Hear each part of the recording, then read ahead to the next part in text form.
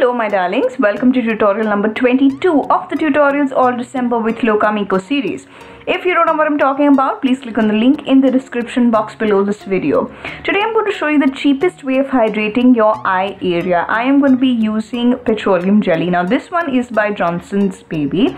You can also use the one by Vaseline. I prefer this because this is very gentle and can be used on babies. As always, I advise you to use this with a spatula.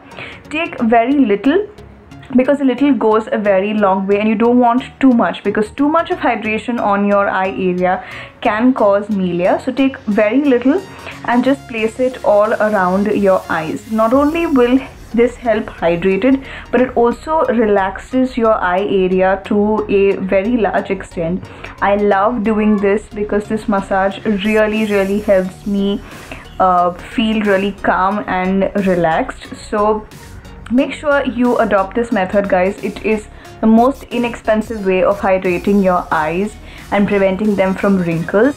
So that's about it. Thank you so so much for watching. You know i love you very much and i love all your feedback your compliments and comments. I will see you tomorrow. Bye